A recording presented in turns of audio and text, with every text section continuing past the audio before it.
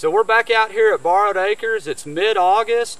We're getting all of our trail cams out, uh, making sure they're working properly. We're getting ready to do our uh, photo survey on the deer, get our hit list put together. Hopefully we have some more mature bucks roaming around. And I also wanted to highlight a new product from Moultrie is their new game camera system. It's a mobile system and I brought Martin Hill from Pradco Outdoors. He's going to explain the system so Martin, why don't you tell me, you know, how can this help a hunter out? Yeah, absolutely, Mark. So what you're looking at is the Moultrie Modem MV1 field modem.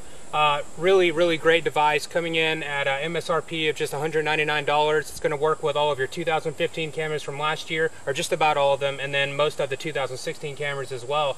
So great thing about how this works, basically you're just going to connect this to your camera via this data cable. It's very simple. You're just going to hop over to the website, activate your camera, choose a data plan that works for you. You'll actually purchase that data plan directly from Moultrie, keep it as headache-free as possible, and uh, and then from there, um, you know, really the world is yours. So you have an option to go in. You can set intervals for how often your modem's going to check into your camera for images. That can be once a day, twice a day, or you can set it up for immediate and, retrieval and at all will, times. This will send those to your phone. It'll send them directly to your desktop, or it'll actually send it to the free application um, that's available for your phone or tablet. And um, you know you'll get notifications for that via email, via text. So you're kind of you know at all times you'll have a great idea of what's actually stepping in front of your camera.